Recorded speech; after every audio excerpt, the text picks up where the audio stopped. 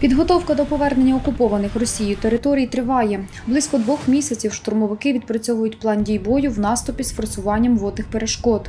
За легендою навчань, реальна фронтова ситуація. Лінію зіткнення розділяє річка. Штурмовики на поготові, утім, форсувати умовне Дніпро зарано. Швидкісні катери чекають свого виходу, адже окупований берег добре укріплений. Тож першими в дію вступає артилерія.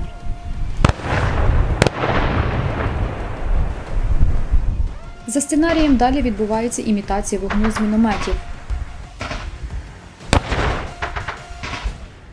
На позиціях вже очікують снайпери та кулеметники. За наказом готові виконувати бойові завдання.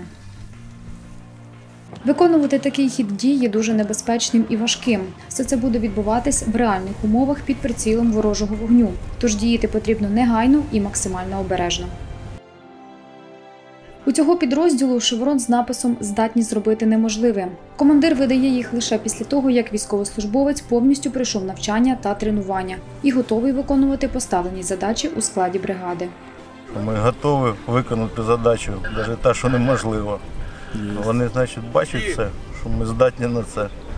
Вони нас вірять, ну і ми з вірою теж вперед. За словами заступника командира підрозділу, найголовнішим є готовність особового складу діяти. Саме для цього вони зараз ведуть активну підготовку і мають у цьому успіх. Загалом головне це якісна підготовка. От, е, найскладніше це, мабуть, все ж таки е, максимально достовірна інформація про противника, про замінування берега там, і ряд інших факторів. Але при якісній підготовці ці фактори можна нівелювати. Підрозділ готовий до виконання поставлених завдань. Іду! Заняття оборону! Небезпечні частини це в першу чергу саме форсування водної перешкоди і висадка на берег. Е, Перше.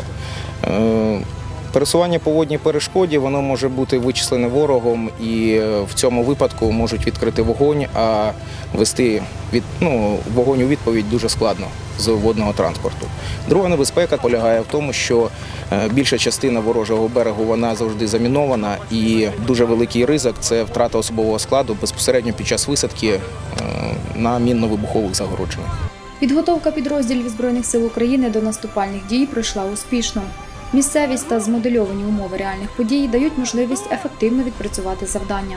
Майбутні штурмовики пройшли серйозну підготовку, тож ми маємо надію на близьку перемогу та повернення усіх окупованих територій.